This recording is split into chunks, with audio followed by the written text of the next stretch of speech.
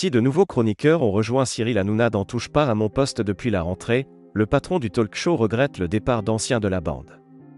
C'est le cas de Julien Courbet, qu'il a couvert de compliments au micro d'Europe 1. À chaque rentrée, c'est le grand chambardement. Le cerveau bouillonnant de Cyril Hanouna ne prend pas de pause pendant l'été.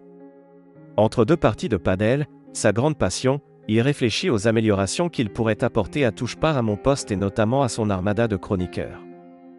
Depuis le retour du talk show le 4 septembre, Jacques Cardoz, Alex Good et un Moundir méconnaissable sont apparus autour de la table, en attendant la première intervention de Ségolène Royal.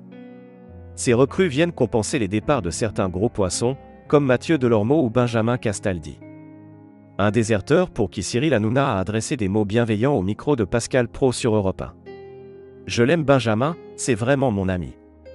Et s'il veut revenir, la porte sera toujours ouverte pour lui parce que c'est un type exceptionnel et un camarade exceptionnel, a-t-il souligné. Un animateur d'une humilité incroyable. Avant l'ex-présentateur de Secret Story, une autre ancienne figure de TF1 avait décidé de quitter TPMP pour voler vers de nouveaux horizons. Après 4 ou 5 années extraordinaires, Julien Courbet a rejoint M6 en 2018 pour animer notamment Tout peut arriver et Capital. Une décision que regrette encore aujourd'hui le dénicheur de nouveaux talents, pour qui celui de son camarade était sans commune mesure.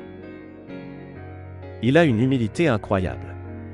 Julien, c'est quand même une énorme star. Il était sur TF1, il faisait des prime time. À un moment, il m'a appelé pour me dire qu'il aimerait bien travailler avec moi. Je lui ai dit, on va faire un truc ensemble. Il est devenu chroniqueur, a-t-il expliqué. Avant de lui tresser des louanges, une humilité incroyable. Il écoutait tout le monde. C'est un mec vraiment que j'ai adoré. C'est mon plus grand regret.